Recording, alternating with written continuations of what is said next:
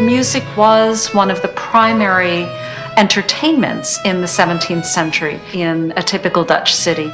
You had city musicians who would often give performances in the town hall. There was music in the taverns, there was music in the church, but I think that most people enjoyed musical performances in their own homes.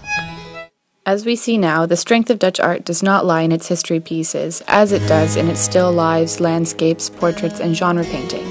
Similarly, the strength of Dutch music does not lie in the intricate and formal setting or Baroque compositions, but in the simplest of all genres, the song simply being enjoyed in the home.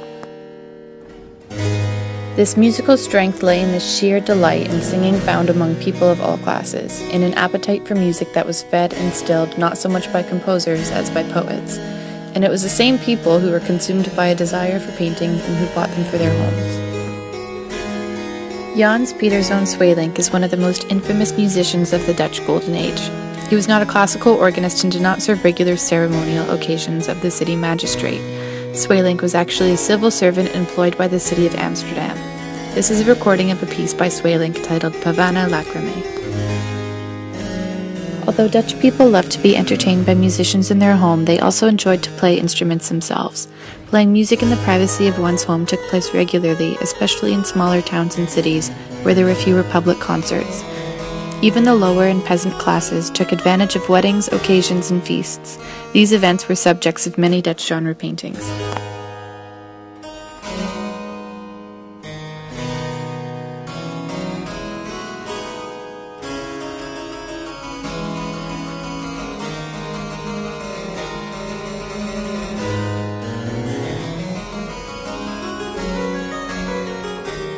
Music lesson could also act as a representation of Vermeer's own experience working in the home, being that the artist's workshop was often in the home, surrounded by family. Thus, this portrayal of a man and woman alongside one another is very symbolic of the Dutch painter's experience. This work gives an insight into the notion of the private world of the home that emerged in this time period, allowing for courtship shown in this work, but more importantly, a new level of religious toleration.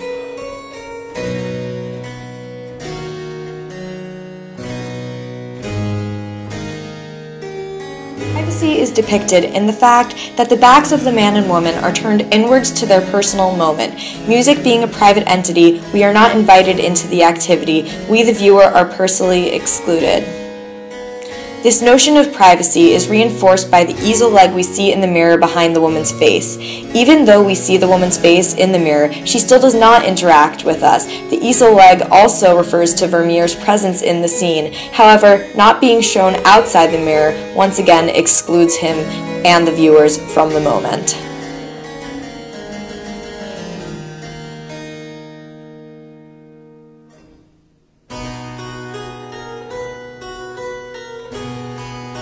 Because the Dutch Reformed Church did not require membership by law, there was a degree of freedom of conscience. This meant that dissenters could believe as they wished.